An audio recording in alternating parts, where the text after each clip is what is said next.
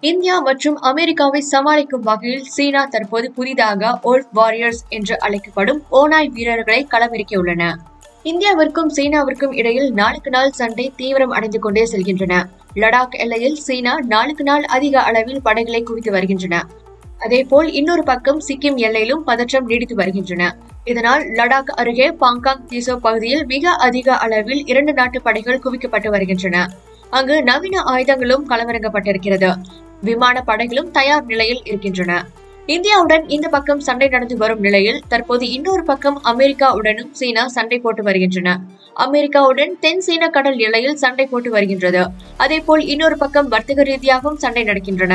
அதேபோல் ராஜாங்க ரீதியாகவும் சீனாவை தனிமைப்படுத்த அமெரிக்கா உள்ளிட்ட சில உலக நாடுகள் முயன்று வருகின்றன.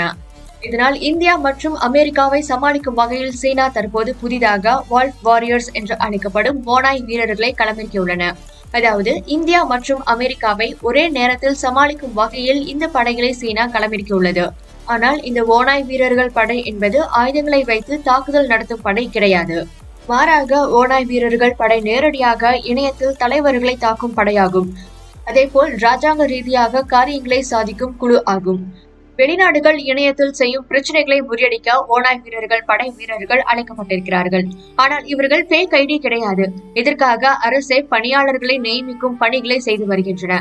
அதாவது சீனாவின் புதிய ராஜாங்க ரீதியான திட்டங்கள் மற்றும் வெளியுறவு கொள்கையில் ஓனாய் வீரர்கள் படை களமிறங்கப்பட்டுள்ளது.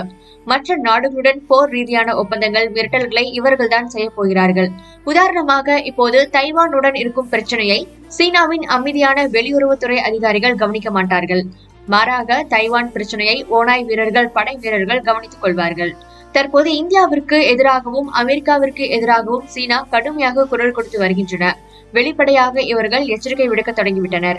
இதற்கு பின் இப்படி ஓனாய் வீரர்கள் இருப்பதாக கூறப்படுகிறது. இந்த குழுவின் சீனாவின் முன்னாள் உளவுத்துறை அதிகாரிகள் ராணுவ மேஜர் செய்தியாளர்கள் அரசியல் விமர்சகர்கள் இருப்பதாக கூறப்படுகின்றன. ஒரு நாட்டை அவமானப்படுத்துவது அந்நாட்டை இகழ்ந்து பேசுவது அந்த நாட்டை மிக மோசமாக மிரட்டுவது ரகசியங்களை வெளியிடப் போவதாக மிரட்டுவது உளவு தகவல்களை வெளியிடப் போவதாக கூறுவது ஓனாய் வீரர்கள் படையின் முக்கிய ஸ்டைல் ஆகும்.